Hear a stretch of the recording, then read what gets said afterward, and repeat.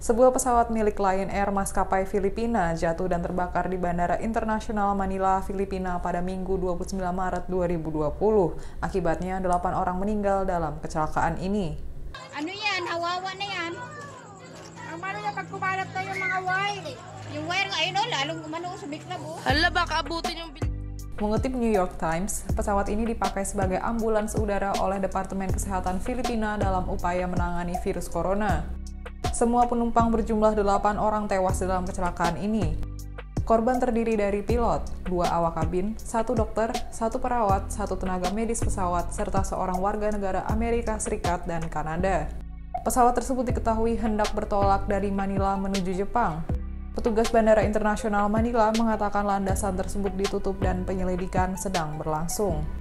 Lembaga Penelitian untuk Pengobatan Tropis Badan Filipina yang berada di garis depan memerangi penyakit ini menggunakan pesawat yang sama dari perusahaan Filipina bernama Lion Air untuk mengangkut pasokan ke para pekerja medis di garis depan di provinsi-provinsi di seluruh negeri.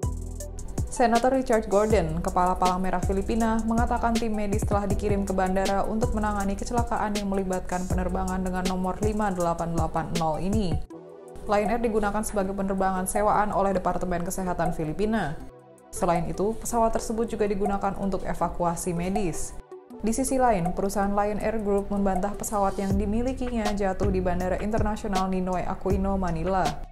Hal ini disampaikan langsung oleh Corporate Communication Strategic of Lion Air Group, Danang Mandala Prihantoro.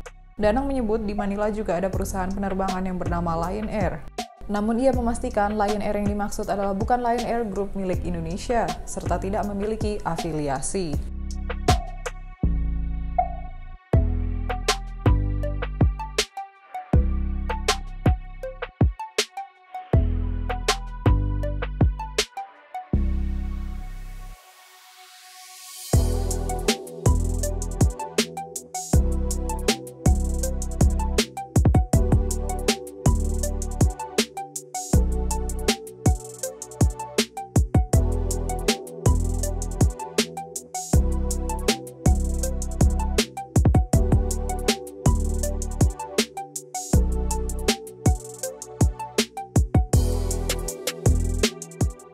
Demikian informasi dari Tribun Jateng Update. Saksikan terus Tribun Jateng Update hanya di channel YouTube Tribun Jateng.